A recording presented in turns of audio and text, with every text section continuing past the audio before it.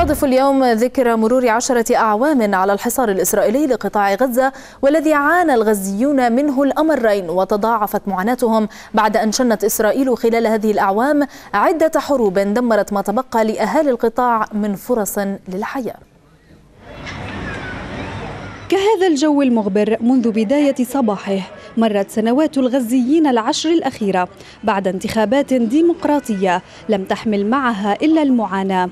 بدأت بفوز حركة حماس بغالبية أصوات انتخابات المجلس التشريعي ودخولها الحكومة وانتهت بانقسام وحصار وثلاث اعتداءات إسرائيلية. نتحدث الآن بعد عشر سنوات من حصار غزة. نتحدث عن ثلاث هجمات إسرائيلية عسكرية على القطاع. دمرت البنية التحتية للقطاع.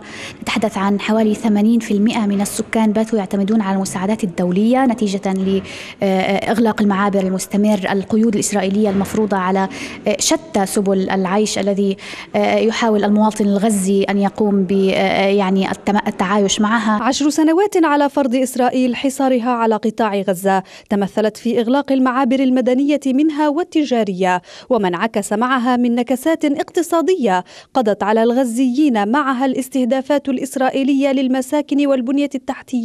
والمصانع والمناطق الصناعية مخلفة آلاف العاطلين عن العمل وفقراء ومشردين. غزة كتير بتعاني حاليا من الأوضاع الاقتصادية والأوضاع الاجتماعية. الأوضاع الاقتصادية من سيء لأسوأ كتير الناس بتعاني.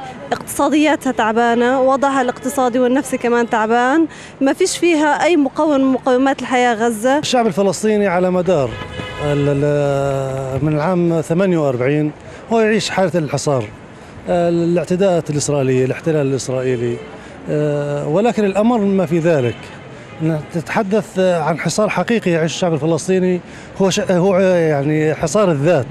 من يوم الانقسام الفلسطيني هذا هذا هذا الجرح الكبير والألم الكبير الذي يعيش الشعب الفلسطيني. ورغم فرحة الفلسطينيين بالعرس الديمقراطي الذي عارضتهم فيه إسرائيل والعالم في حينه إلا أنهم باتوا على يقين بأن انتخاباتهم التي فخروا بها قضت على حياتهم أعواما لا يبدو بأن آخرها قريب. المحاولات الفلسطينية والعربية والدولية التي حاولت إقناع إسرائيل برفع حصارها عن القطاع لم تفلح خلال عشر سنوات مضت ما يدعو الغزيين إلى عدم التفاؤل مع التغييرات الإقليمية والدولية الحالية. منى عكل قناة رؤيا غزة فلسطين.